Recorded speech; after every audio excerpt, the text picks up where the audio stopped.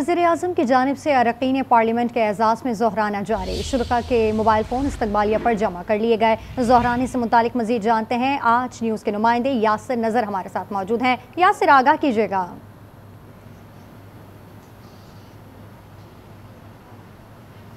जी, बिल्कुल prime minister की minister की तरफ़ से आज मुस्लिम लीग नून के जो सीनेटर और अरकान असम्बली हैं, उनके एजाज़ में पहले तो ये था कि इसहाक डार की जनब से ये कहा कहा गया था कि इनको नाश्ते पे मधु करना है, लेकिन फिर इजलास का वक्त जो तब्दील किया गया, अब जुराना जो है वो प्राइम मिनिस्टर की तरफ़ से दिया जा रहा है, जिसमें अरकान जो हैं अब काफ़ी तादाद में पहुँच चुके हैं, और ये भी बताया गया है कि वजी अजम कैबिनेट मीटिंग के बाद इस जुराने में ख़ुद भी शरीक होंगे, और जो पार्लियामेंटेरियन हैं, इनके मोबाइल फ़ोन और जो दीगर डिवाइस हैं वो भी बाहर जमा कर ली गई हैं, और किसी भी पार्लियामेंटेरियन को, कोई भी किसी किस्म की जो इलेक्ट्रॉनिक डिवाइस है वो अंदर लेके जाने की इजाज़त नहीं है। अब इस पर मुशावरत होनी है कि आज अपने जो लोग हैं वो किस तरह पूरे करने हैं। कौमी इसम्बली और जो सीनेट दोनों में मुस्लिम लीग नून ख़ास तौर पर उनके लोगों को किस तरह इकट्ठा करना है। तो इसीलिए अब ये जो जुराना दिया गया है और जुराने में तमाम पार्लियामेंटेरियन को मुस्लिम लीग नून और जो सीनेट और इसम्बली में हैं,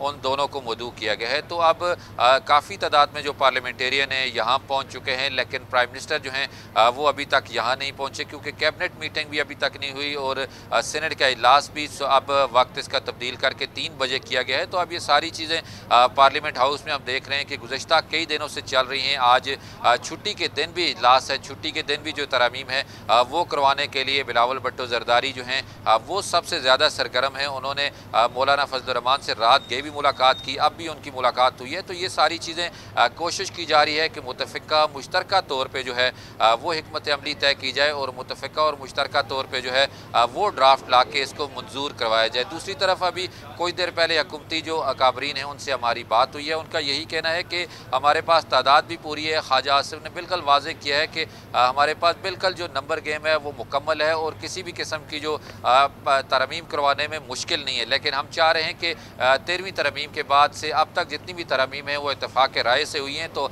हम यही चाह रहे हैं कि ये भी इतफ़ाक़ राय से हो। तो अब देखना ये होगा कि हुकूमत जो अरकान पार्लियामेंट है ये सारे मिल के किस तरह जो इतादी जमातों के साथ मिल के दो ताई अक्सरीत के साथ जो तरमीम है वो पास करवाने में कामयाब होते हैं। अपोजिशन को क्या साथ लेके चलते हैं या अपोजिशन की तरफ़ से जो रजामंदी है वो नहीं होती तो ये सारी चीज़ें अभी दिखाई दे रही हैं। इस पर फैसला होना है। बार बार पार्लियामेंटेरियन की तरफ़ से जो वक्त तब्दील किए जाते हैं तो उस पर भी वो खासे नाराज़ नज़र आते हैं कि कभी बारह बजे का वक्त होता है तो फिर जब वो पहुँचते हैं तो फिर वक्त तब्दील कर दिया जाता है। तो ये सिलसिला चल रहा है यहाँ पर यासिर नज़र हमारे साथ मौजूद है। यासिर, आपका बहुत शुक्रिया। अपने नाजरन को अपडेट कर रहे हैं कि इस वक्त वज़ी अजम की जानब से रकीन पार्लियामेंट के एजाज़ में जहराना जो कि मोबाइल फ़ोन इस्तबालिया पर जमा कर लिए गए हैं। जहराने से मुतालिक हमें अपडेट कर रहे थे हमारे नुमाइंदे।